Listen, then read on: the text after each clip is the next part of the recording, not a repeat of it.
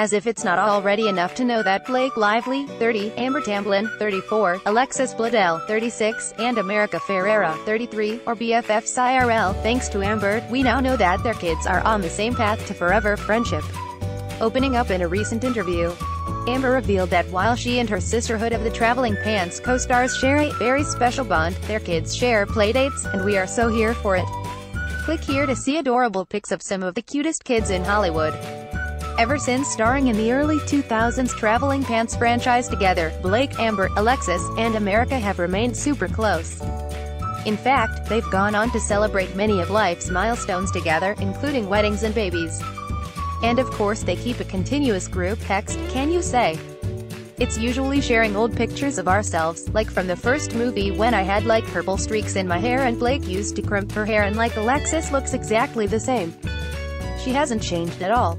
Amber explained to Us Weekly on March 26.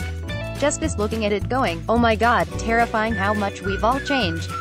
The biggest change of all though is that all four actresses are now moms, or a mom to be in America's case. And Amber shared that yes, their kids do hang out together in between their hectic schedules, we'll have to get the tiniest pants you've ever seen in your whole life.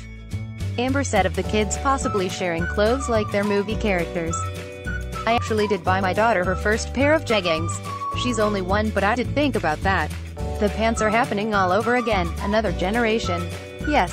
Do we sense another movie?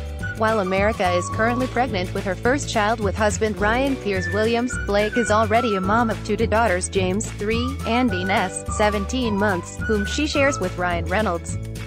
Meanwhile, Alexis has a baby boy with Mad Men alum Vincent Kartheiser, and Amber shares 13-month-old daughter Marlo with husband David Cross. It's a very special bond that we have.